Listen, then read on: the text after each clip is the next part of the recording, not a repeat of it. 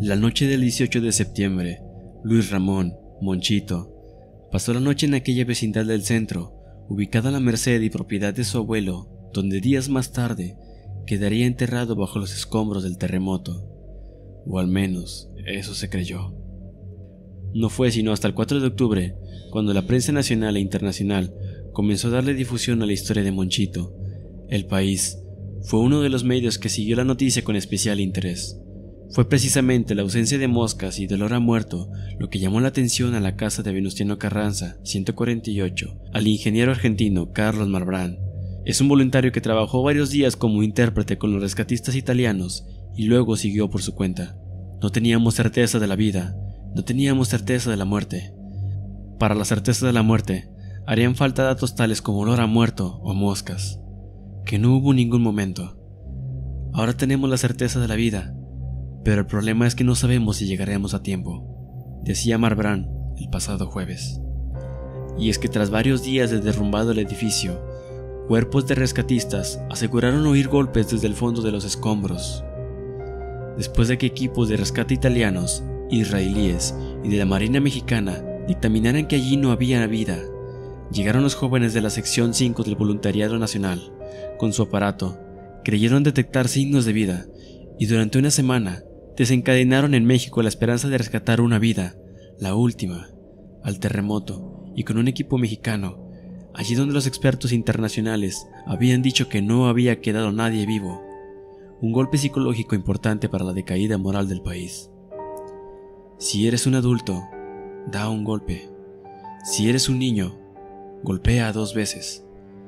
Se escuchaba decir a los rescatistas, quienes quedaron perplejos al escuchar dos golpes, la esperanza de los padres del pequeño se revivó al creer que su hijo podría estar vivo.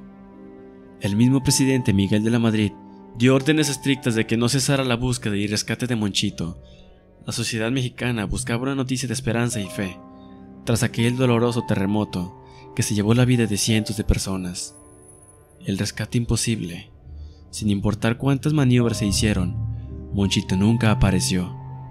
La búsqueda cesó el 11 de octubre y con ella se difuminaron las esperanzas de la familia, de los amigos, de los vecinos, de la sociedad.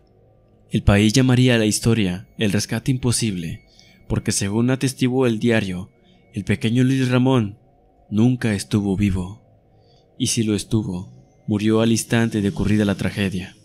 Un psiquiatra de la época calificó el caso como un fenómeno de histeria colectiva, como un golpe psicológico, y es como bien dicen, tras el terremoto del 85, México ya no es lo mismo. Algo similar pasó en el trágico terremoto del 2017 en la Ciudad de México. El caso de Frida Sofía, una niña que los cuerpos de rescate aseguraban escuchar.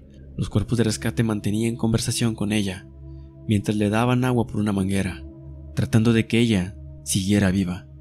Pero hace pocos días se dio la noticia de que Frida Sofía nunca existió.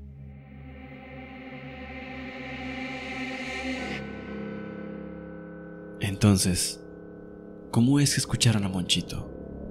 ¿Cómo es que escucharon a Frida Sofía? ¿Quiénes eran los que hablaban con los rescatistas? ¿Qué opinas tú? Mi nombre es Carlos Lozano y a nombre de Leyendas de Monterrey, mandamos nuestras fuerzas a nuestros queridos hermanos mexicanos que pasaron tragedia en el pasado terremoto del 19 de septiembre de este mismo año.